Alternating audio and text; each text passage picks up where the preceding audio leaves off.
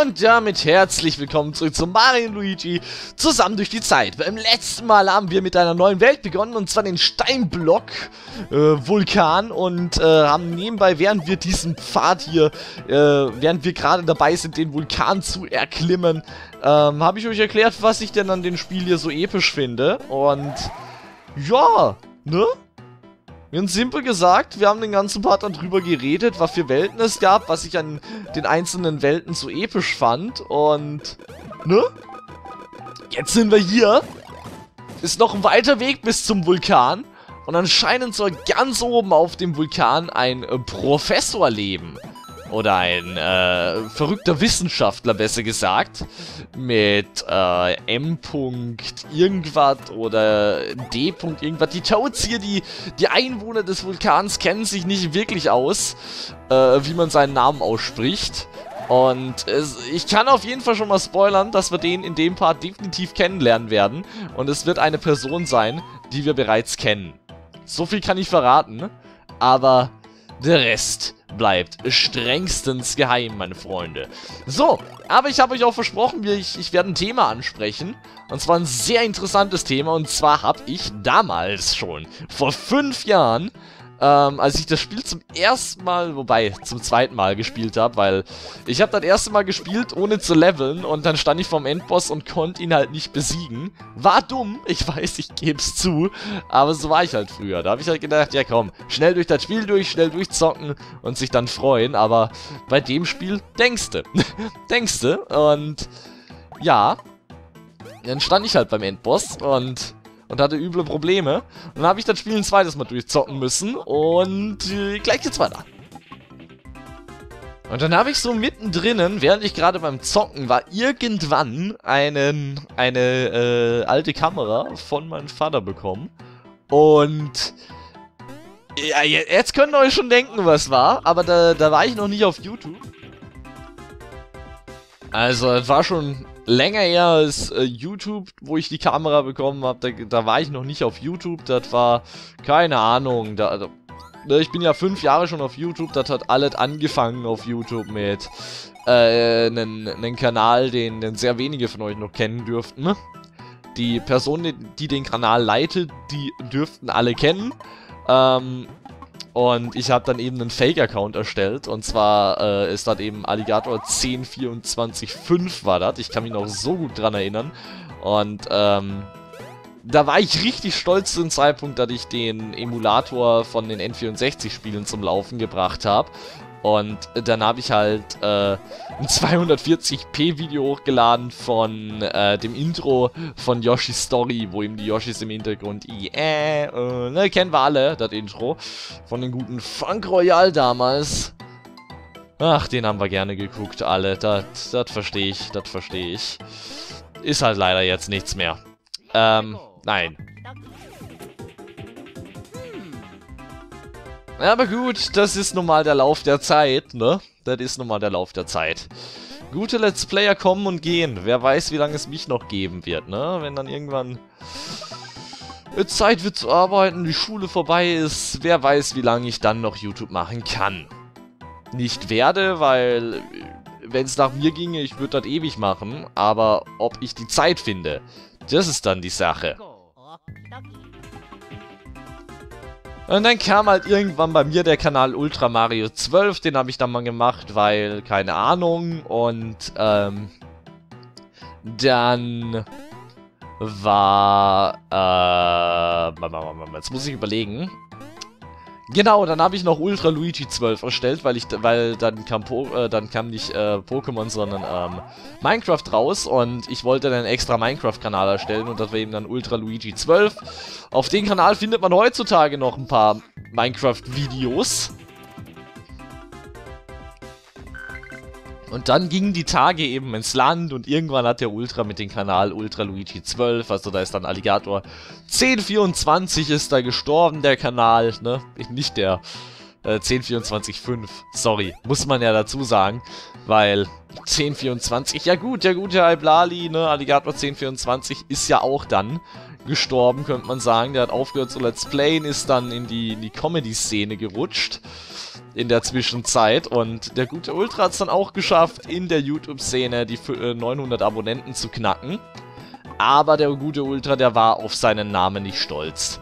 Denn gefiel der Name Ultra Mario 12 nicht und aus dem Grund hat der gute Ultra dann einen neuen Kanal eröffnet, auf dem, weil auch das äh, Let's Playen und so weiter anging. Ähm, er wollte nur noch Spiele machen, die ihn auch Spaß machen, die unendlich gingen. Dann habe ich eben den Kanal Pokémon Craft erstellt. Und jetzt dreimal könnt ihr raten, was ich dort nur noch gebracht habe. Und zwar Pokémon, Minecraft und Harvest Moon. Wie es schon im Namen steckt eben. Und ja, dann habe ich alle meine Abonnenten aufgegeben für den Kanal Pokémon Craft. Tja. Der Kanal hat, glaube ich, derzeit irgendwie 68 Abonnenten oder so, existiert noch. Also ihr könnt da wirklich auch alle vorbeigucken. Und ein Abo da lassen bringt nichts, der Kanal wird definitiv nicht mehr aktiv. Aber ihr könnt euch noch, ähm, noch gewisse Sachen anschauen. Und zwar habe ich dann äh, irgendwann in der Zwischenzeit ähm, meine erste Capture Card bekommen und habe dann wieder mit den Let's Playen begonnen auf einen neuen Kanal. Ne, ich habe zuerst auf Pokémon genau, zuerst habe ich auf Pokémon noch ein bisschen Stuff gemacht. Moment mal kurz. Steinblöcke ist weiter sauber gereicht, kennen wir. Und zwar habe ich auf äh, Pokémon dann noch mit Luigi's Mansion 2 begonnen. Und äh, Luigi's Mansion, nicht Luigi's Mansion 2. Und mit Paper Mario für den N64 habe ich dann noch begonnen. Denke ich, dass es so war. Und dann gingen die Tage wieder ins Land. Ich glaube, dann ist wieder ein Jahr vergangen oder so. Also es sind schon drei Jahre vergangen, wenn man das mal so sieht. Und der gute Ultra, der hat gedacht, Pokémon Craft, ey, das ist so ein Drecksname. Da und du willst auf den Kanal wirklich Let's Plays hochladen. Und damals konnte man sich halt noch nicht so simpel umbenennen. Und dann habe ich halt erneut einen neuen Kanal eröffnet, welcher den stolzen Namen Ultra Zockt trug.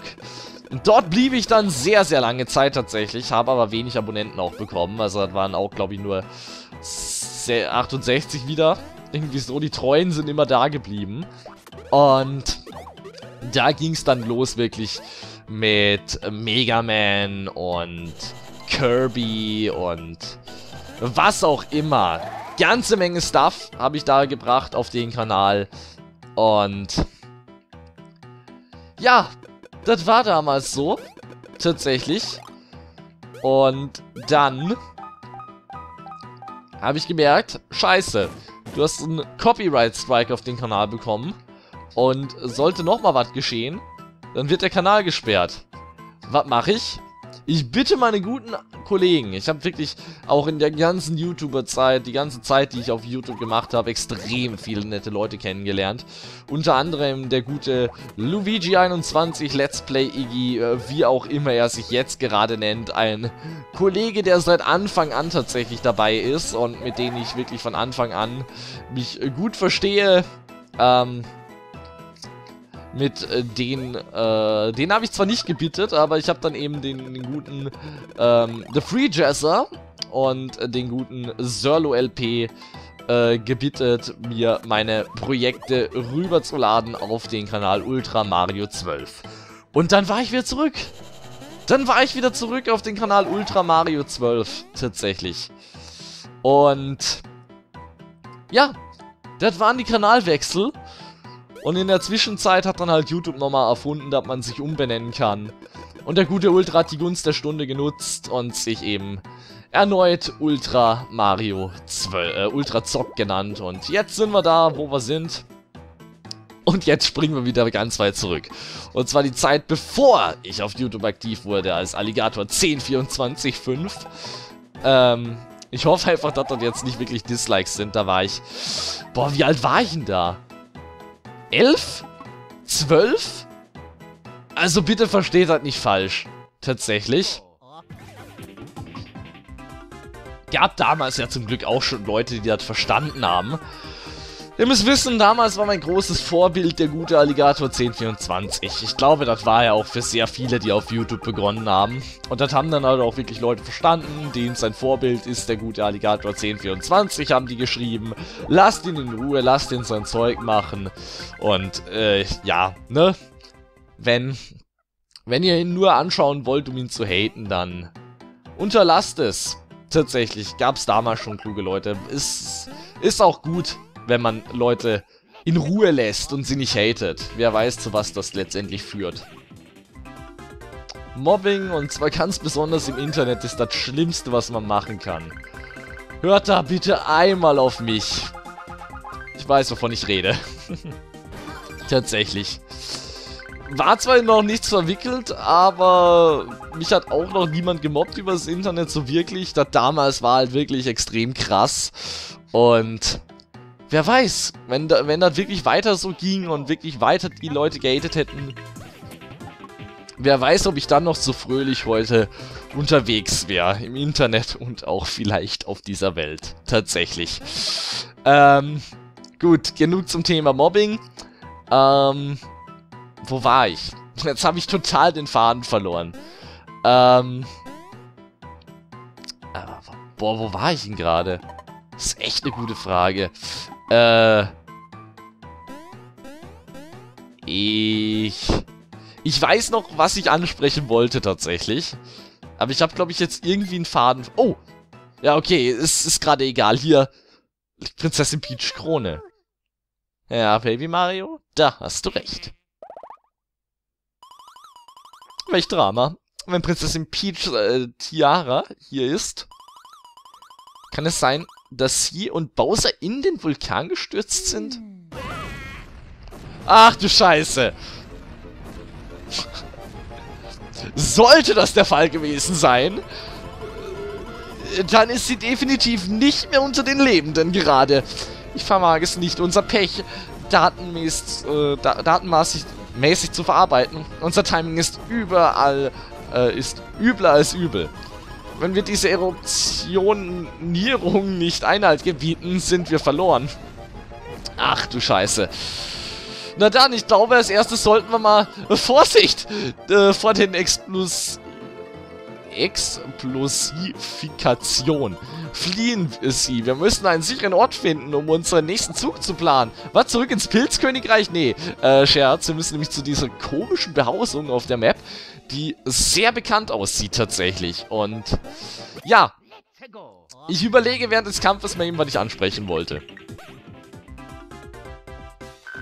Wow.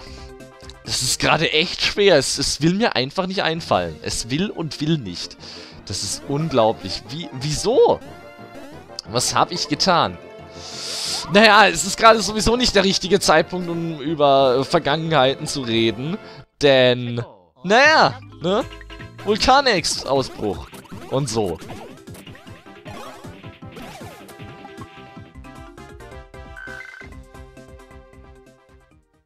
Auf jeden Fall habe ich Videos hochgeladen, ähm, wieder und wieder Let's Plays gemacht und wieder Gegner gekillt. Mann! Und habe dann letztendlich auch alle meine äh, Abonnenten gelöscht, was auch eine Menge Arbeit war, weil ich einfach wieder komplett von vorne anfangen wollte mit dem Kanal. Und ja, tatsächlich könnte ich jetzt schon 2000 Abonnenten haben, wenn ich die 900 gelassen hätte und wirklich ähm, alle neu sind gerade und mich nicht von Ultra Zock kennen. Aber da ich da nur 68 Abonnenten habe, denke ich, dass das auch der Fall sein wird. Aber was will ich mit Abonnenten noch von einem toten Kanal, der schon vier Jahre inaktiv war? Das guckt sich halt keiner mehr an dann, wenn dann wieder ein Video kommt. Wahrscheinlich waren die Kanäle sowieso schon alle tot und die Leute, die die Kanäle betrieben haben, total inaktiv, weil wegen Arbeiten und Schule vorbei und ja, ne?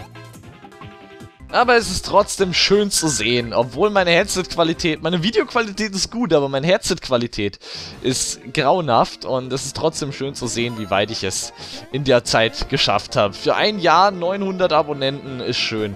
Ich hoffe, dass ich bald die 1000 erreichen werde, denn dann ist mein Ziel erreicht. Ich denke nicht, dass ich irgendwann mal mehr haben werde, aber gut, ne? Man kann ja träumen. Das heißt nicht, dass ich mit YouTube aufhören werde, sollte, ähm, ja, sollte ich dann die 1000 Abonnenten erreicht haben. Aber das ist halt mein Ziel. 1000 Abonnenten und dann äh, mehr werde ich sowieso nie erreichen. Also dann, Freunde, das war's für den Part. Ich habe nicht das angesprochen, was ich ansprechen wollte, aber egal. Kabum! Das äh, nenne ich mal eine Eruption. Sogar, äh, sorge besser dafür, sie aufzuhalten. Hey, Gab es in der Nähe nicht einen seltsam, ein seltsames kleines Gebäude? Ja, vor, diesen, vor diesem Gebäude stehen wir gerade. Und dann werden wir das nächste Mal uns genauer umsehen. Ich bedanke mich fürs Zusehen. Das war Mario und Luigi zusammen durch die Zeit für heute. Und ja, beim nächsten Mal mal gucken, ob ich da weiterreden werde oder eher der Story nacheifere. Ich denke eher der Story nacheifere. Und dann hebe ich mir das für den zweiten Abschnitt dieses Kapitels auf. Mal gucken, wo uns das denn hinführen wird. Bis dahin, tschüss, tschüss euer Ultra.